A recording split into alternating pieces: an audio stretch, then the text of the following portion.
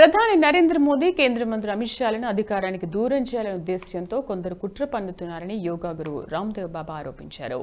దేశవ్యాప్తంగా అగ్నిపథ్ పథకానికి వ్యతిరేకంగా కొనసాగుతున్న ఆందోళనకు ఎలాంటి అర్థం లేదని ఆయన అన్నారు. ఢిల్లీ యూనివర్సిటీలో నిర్వహించిన యోగా కార్యక్రమంలో ఆయన మాట్లాడారు. రాజకీయాల్లో యోగా ఉండవచ్చని కానీ యోగాలో రాజకీయం ఉండకూడదని పేర్కొన్నారు.